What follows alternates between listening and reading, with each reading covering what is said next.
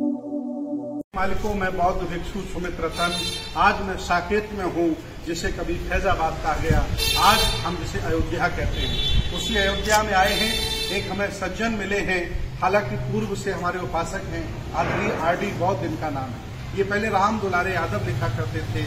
जब इन्हें ये ज्ञात हुआ कि जिन लोगों ने हमें जातियों में बांटा, वो मज़े काट रहे हैं और हम एससी ओबीसी वाले जाति जाति खेल करके अपना सत्यानाश कर रहे हैं। उसी दिन से इन्होंने जाति को त्याग कर अपने आप को बौद्ध बना लिया और अपनी साइकिल पर पंचशील का झंडा लेकर, ये छोटी सी साइकिल लेकर के ये अयोध्या फैजाबाद की गलियों में घूमते हैं और भगवान बुद्ध बाबा साहब का प्रचार प्रसार करते हैं।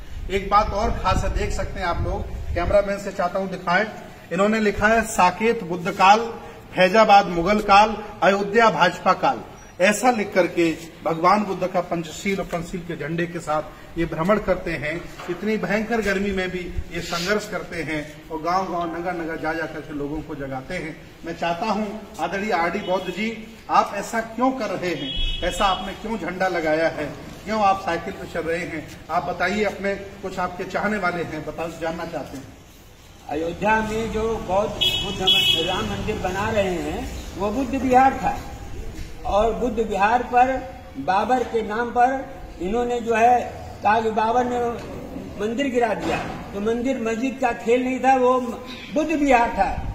और उस बुद्ध विहार को मुकदमा चला, मंदिर का मुकदमा चला। तो न्यायालय ने कहा कि जो है, इस पर कुछ नहीं कार्रवाई होगी। फ़ाइल को बुद्ध लोगों की फ़ाइल को अलग कर दिया और राम मंदिर के पक्ष में जिस जज ने फैसला किया, उसको दूसरे दिन राज्यसभा का मेंबर बना दिया। तो हमने तय किया है, जब तक वहाँ पर बुद्ध विहार नहीं बनेगा, तब तक मैं ये झंडा बौद्ध धर्म का और बौद्ध धर्म के विचारों का और अम्बेडकरवाद के विचारों को मैं जन जन तक फैलाता रहूँगा और बताता रहूँगा। इसीलिए साइकिल पर मैं लिखा, अयोध्या, जिसको कहते हैं, पहले अयोध्या एक नगर पालिका थी। बुद्ध काल में अयोध्या एक पूर्वा था। कई पूर्व मिलकर एक गाँव हुआ करते हैं। और भाजपा ने अयोध्या का बनाया। जब योगी मुख्यमंत्री बना, तेरह नवंबर 2018 दिन मंगलवार को अयोध्या बना।